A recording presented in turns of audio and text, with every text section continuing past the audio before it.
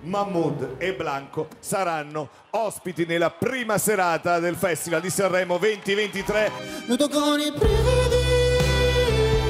Maestri di cerimonie come già fu per Diodato e i Maneskin, Mahmood e Blanco ci lanceranno, coi brividi certamente, nella 73esima edizione di Sanremo, che riserva ancora molte sorprese come il terzo nome femminile accanto a quello di Chiara Ferragni, prevista nella prima e nell'ultima puntata.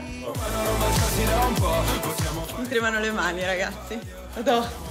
E Francesca Fagnani, che sarà protagonista di una serata. Dunque, restano ancora due date senza nome e nonostante le ipotesi fatte da Monica Bellucci ad Andrea De Logu, da Benedetta Porcaroli a Sabrina Impacciatore, Ama resta sibillino. E L'indizio è, um, è una ragazza...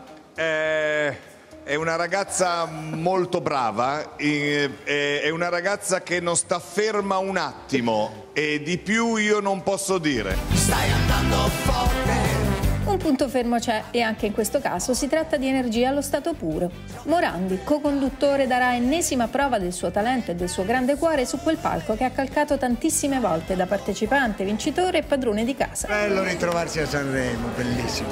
L'anno scorso ero in gara, quest'anno mi appoggio di più a Medea. A Medea. Ma te, te la godi di più quest'anno, sei più rilassato. A Salmo sono affidati i collegamenti della nave crociera, mentre i cantanti in gara, fulcro del quarto festival targato Ama, sono nella fase più creativa e complessa del lavoro, a sole sei settimane dal debutto. Stai cercando una strada più corta per arrivare a Sanremo? No, guarda, è il messaggio di un bambino, Nicola. Ha otto anni. Guarda cosa dice. Ma da me non passate. Vediamo un po' Nicola da Udine, Udine è lontano! Ma ci dobbiamo andare per lui, per Nicola. Dai, non fare il pigro, dai, andiamo.